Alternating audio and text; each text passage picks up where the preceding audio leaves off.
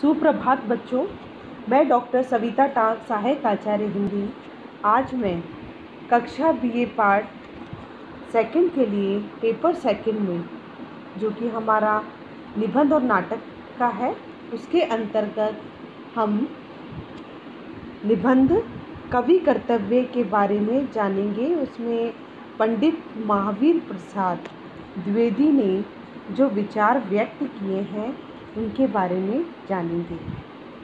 आधुनिक हिंदी साहित्य में गद्य साहित्य के युग विधायक आचार्य महावीर प्रसाद द्विवेदी, संस्कृत, हिंदी, अरबी, फारसी, अंग्रेज़ी, गुजराती, मराठी आदि अनेक भाषाओं के विद्वान थे। उन्होंने हिंदी के विकास के लिए जो कार्य किया, वह बहुआयामी था। उन्होंने अनेक ग्रंथों का हिंदी में अनुवाद किया उन्होंने उन विषयों पर हिंदी में लिखा और लिखवाया जिन पर हिंदी में साहित्य उपलब्ध नहीं था। उनका संपत्ति शास्त्र नामक ग्रंथ अर्थशास्त्र की एक महत्वपूर्ण कृति माना जाता है। उन्होंने अपने समय के कवियों और लेखकों को नए नए विषयों पर लिखने की प्रेरणा दी। उन्होंने खड़ी बोली में काव्य रचने की दिशा में कवियों का मार्ग प्रशस्त किया। आज हम उनके निबंध कवि कर्तव्य में व्यक्त, कवि कर्तव्य में व्यक्त विचार,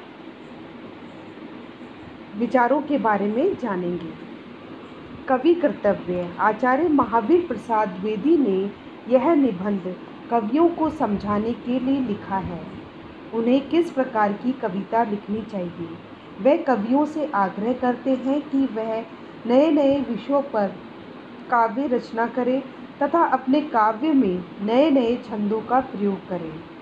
ज़रूरी नहीं है कविता तुकांती हो, किंतु कविता में अर्थ सौंदर्य आवश्यक है। कवि की कविता तभी प्रभावशाली बन सकती है जब वह शुद्ध और भाव व्यंजक भाषा का प्रयोग करे। सार्थक तथा उपयुक्त शब्दावली के प्रयोग से ही कविता अपूर्व रसायन बनती है। अर्थ सौंदर्य अर्थात अर्थ की चारुता कविता का प्राण है। अश्लीलता, ग्रामीणता तथा नीरसता से कवि को बचना चाहिए। कविता मनोरंजक होने के साथ उपदेशमूलक भी होनी चाहिए। यदि पाठक को कविता पढ़ने से कोई प्रेरणा नहीं मिलती तो वह कविता बहुत प्रभावशाली नहीं मानी जा सकती है। इस प्रकार महावीर प्रसाद द्विवेदी ने अपने निबंध में कविता कर्तव्य में यह बतलाने का प्रयास किया गया है कि हिंदी की कवियों को कविता लिखते समय किन किन बातों का ध्यान रखना चाहिए। हिंदी के कवियों को समय और समाज की रुचि के अनुसार सब बातों को विचार करके यह लिखना चाहिए कि कविता, कवि का कर्तव्य क्या है। अपने मनोगत विचारों को हम थोड़ा ही लिखना चाहते हैं। इसलिए कवि ने छंद, भाषा, अर्थ और विषय को जोड़कर इनका सही उचित प्रयोग करके कविता को लिखना चाहिए।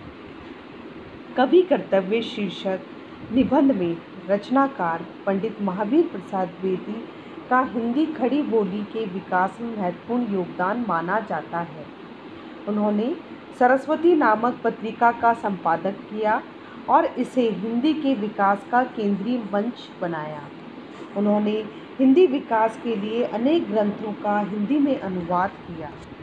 अपने कवि कर्तव्य निबंध में कवियों को समझाया समझाने के लिए किस प्रकार कविता लिखनी चाहिए, किन विषयों पर काव्य रचना होनी चाहिए, किन नए नए छंदों का प्रयोग करना चाहिए, तथा काव्य रचना में कवियों को किन किन से बचा रहना चाहिए आदि के प्रति कवि वर्ग का ध्यान आकर्षित करते हैं। इस प्रकार वह बताते हैं कि किन किन शब्दों का किस किस प्रयोग होना चाहिए। पहला है भाषा प्रयोग। द्विवेदी जी ने कवि कर्तव्य के संबंध में अपने विचार व्यक्त करते हुए कहा है कि कवियों को ऐसी भाषा अपनी रचनाओं में अपनानी चाहिए, जिसको सरलता से सभी समझ सकें। उन्हें चाहिए कि वह ऐसी भाषा अर्थात ऐसे शब्दों का अपनी रचना में प्रयोग ना करें जिससे उनके द्वारा रचित कविता का अर्थ ही स्पष्ट ना हो सके। इसके साथ ही व्याकरणों के नियमों की भी अवहेलना भाषा प्रयोग की दृष्टि से नहीं की जानी चाहिए। इसके साथ ही भाषा के प्राकृतिक नियमों का पालन करने के लिए कवियों और लेखकों को बोलने और लिखने की भाषा में एकरूपता रखनी चाहिए। कवियों को लिखने के लिए शुद्ध भाषा का प्रयोग करना चाहिए। व्याकरण का विचार ना करना कवि की द्वैविषय अज्ञानता का सूचक होता है। कभी कभी कवि व्याकरण के नियमों की ओर दृष्टिपात तक नहीं करते। ब्रज भाषा की कविता में कवि जन मनमानी निरंकुशता दिखलाते हैं, यह उचित नहीं है। जहाँ तक हो सके, शब्दों का मूल रूप नहीं बिगड़ना चाहिए। इस प्रकार कवि ने भाषा के प्रयोग का उचित प्रयोग होना होना चाहिए। अगली जो कवि कर्तव्य में जो विचार विशेषता बताई है, वह है अर्थ प्रयोग। द्विवेदी जी ने कविता रचना में अर्थ सौंदर्य पर विशेष ध्यान रखने के लिए कहा है। उनका मानना है कि अर्थ सौरभ में ही कविता का प्राण है। जिस पद में अर्थ का चमत्कार नहीं, वह कविता नहीं। इसलिए कवि जिस विषय का वर्णन कर रहा होता है, उसके साथ उसका भावनात्मक संबंध होना चाहिए। इसके साथ ही उसमें अश्लीलता एवं ग्रामीणता गर्भित अर्थ नहीं होना चाहिए। तथा देश काल व लोक विरुद्ध कोई बात नहीं होनी चाहिए। इससे कविता का सौंदर्य नष्ट होता नज़र आता है। इस प्रकार अर्थ के बारे में कवि कहते हैं कि धनाक्षरी और सवैया आदि लिखने वाले कुछ कवियों ने कविता में कभी कभी अनेक निरर्थक शब्द आ जाते हैं। कभी कभी शब्दों के ऐसे विकृत रूप प्रयुक्त हो जाते हैं कि उनका अर्थ ही समझ में नहीं आता। ब्रज भाषा की कविता अथवा धनाक्षरी या सवैया के हम प्रतिकूल नहीं हैं, परंतु हमारा मत यह है कि अर्थ के सौंदर्य की ओर कवियों का ध्यान अधिक होना चाहिए। शब्दों के आडंबर की ओर नहीं, अर्थहीन तथा अनुपयोगी शब्द का प्रयोग ना लिखे जाने चाहिए, ना शब्दों के प्राकृतिक रूप को बिगाड़ना चाहिए। शब्दों के बिगाड़ने से उनके बिगड़े हुए रूप पढ़ने वालों के कान में खटकते हैं और जिस अर्थ में वे प्रयुक्त होते हैं, उस अर्थ में कभी कभी पोषकता भी नहीं रहती। इसलिए कवि, पंडित महावीर प्रसाद द्विवेदी जी कविता के सौंदर्य को बताते हुए बात करते हैं कि उसका अर्थ स्पष्ट होना चाहिए। अगली जो विशेषता है, वह है विषय चयन। विषय। कविता का विषय मनोरंजक और उद्देश्यजनक होना चाहिए। यमुना के किनारे किनारे केली कोतूहल का अद्भुत अद्भुत वर्णन बहुत हो चुका। ना परकया पर प्रबंध लिखने की अब कोई आवश्यकता है, ना स्वकिया के गतागत की पहली बुझाने की। चीटी से लेकर राजा पर्यंत, पशु, भिक्षु से लेकर राजा पर्यंत, मनुष्य, बिंदु से लेकर समुद्र तक, जल, अनंत आकाश, पृथ्वी, पर्वत सभी पर कविता हो सकती है। सभी के उपदेश, सभी के वर्णन से मनोरंजन हो सक, सकता है।